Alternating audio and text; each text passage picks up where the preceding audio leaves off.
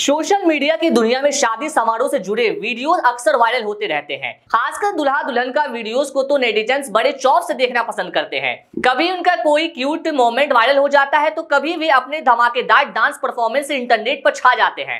फ़िलहाल एक ऐसा ही वीडियो वायरल हो रहा है, जिसमें वरमाला रस्म के बाद दुल्हन फूल जोश में नाचती हुई नज़र आती है। वहीं दुल्हा स्टेज पर खड़ा उसे देखता और मुस्कुराता रहता है। वायरल हुआ ये वीडियो जयमाला के तुरंत बाद शूट किया हुआ मालूम पड़ता है। आप देख सकते हैं कि दुल्हा और दुल्हन दोनों ने ही वरमाला पहना हुआ है।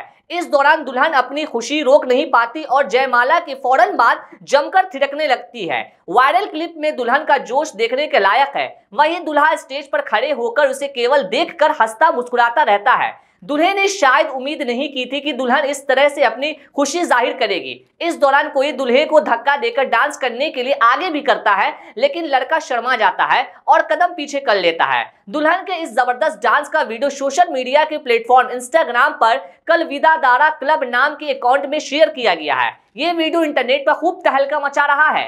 अब तक दो लाख लोग इसे लाइक कर चुके हैं। वहीं वीडियो को देखने के बाद लोग जमकर अपनी अपनी प्रतिक्रियाएँ भी दर्ज करा रहे हैं। एक यूज़र ने कमेंट करते हुए लिखा है, हाय, इतनी खुशी। वहीं दूसरे यूज़र कहना है कि, मैं भी शायद अपनी शादी में ऐसे ही झूमकर नाचूँगी। तो वहीं कई यूज़र्स अपनी अपनी दोस्त को टैग करके उन्हें मज़े ले रहे हैं। एक ने अपनी दोस्त को टैग करते हुए लिखा है, तू अपनी शादी में भी कुछ ऐसा ही करेगी। कुछ मिलाकर दुल्हन का ये वीडियो नेटिजन्स का ध्यान अपनी ओर खींचने में कामयाब रहा है। Hãy subscribe